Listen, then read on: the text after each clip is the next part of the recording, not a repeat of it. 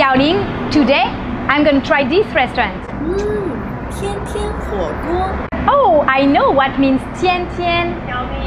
Mm, has ren ren means everybody. I think that tian tian is every day.